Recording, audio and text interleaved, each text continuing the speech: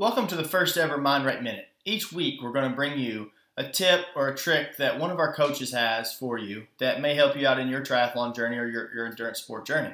Uh, so this week, I'll start it off because it just seems kind of what it needs to be. And this week's tip is a very simple one that not a lot of people think about, but one of the big problems with the swim is your goggles fogging up.